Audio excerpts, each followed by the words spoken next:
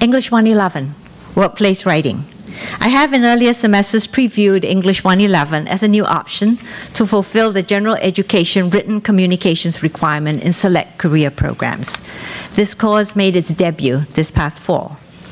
First, a quick review of what English 111 is. This is a college level, albeit non transfer, a college level writing course that focuses on the procedural writing that is required in technical jobs. Students take what is involved in technical lab work and translate procedural actions into prose, actions that pertain to technical requirements, safety, problem solving, and teamwork.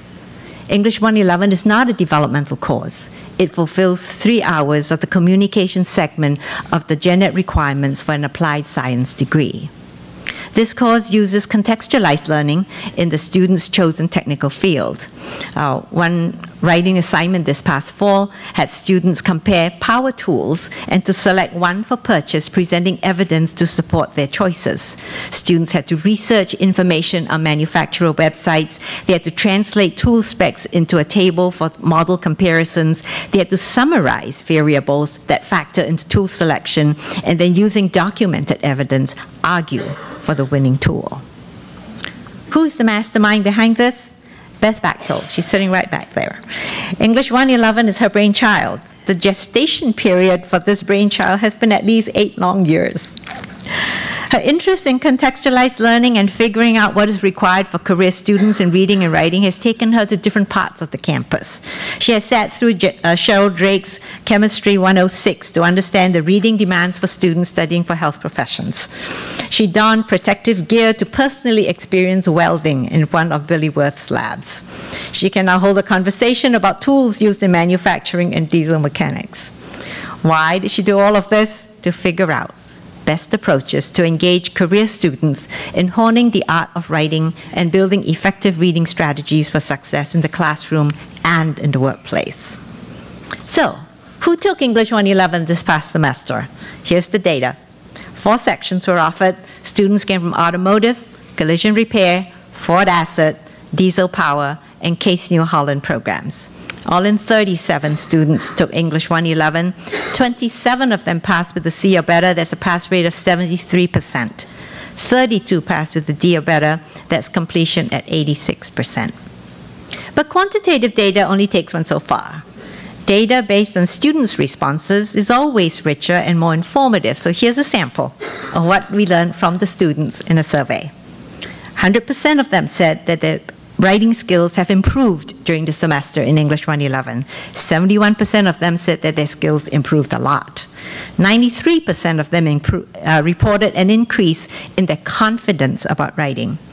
I had the chance to chat with one of the students during a class visit. He said that he had always feared writing. His mind would blank out and nothing would come out on paper. But through English 111, he learned that he could write and express ideas, and that following the conventions of writing are not beyond him. 64% said that they felt very prepared for writing in their current or future jobs. Then they were asked to make comments about their experience. I'm going to read you three comments.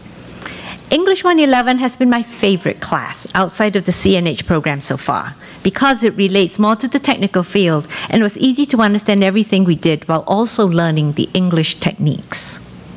Another said, I really enjoyed English 111. It helped me I felt it helped me become a better writer, which will help me in the field being a technician. It will allow me to communicate with customers better. A third one said, English 111 taught me different ways of writing. These include responding to articles and gathering information from websites and then writing about it. English 111 is an important tool in student success. For one, it provides an approach to help students see that good writing is not external to their technical training. Indeed, it's one of the emphases throughout the course that written communication is required on the job and is a necessary factor in professional success. Further, it introduces writing to many students who have hitherto shied away from writing. English 111 helps them to see that good written communication is within their reach. Many students do not complete their AAS degree. They leave for the workforce when they have all their technical credits required.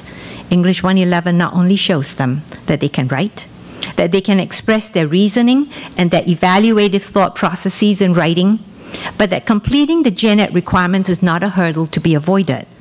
We trust that the English 111 introduction will help students complete their programs with the, uh, in the AAS. C- completion is good for students. It is also mighty good for us as a college. Beth is working on 111 for ag students this semester, but it is also important to know that English 111 is not for every career program or for every student within a program, and we need to underscore this. This is one option.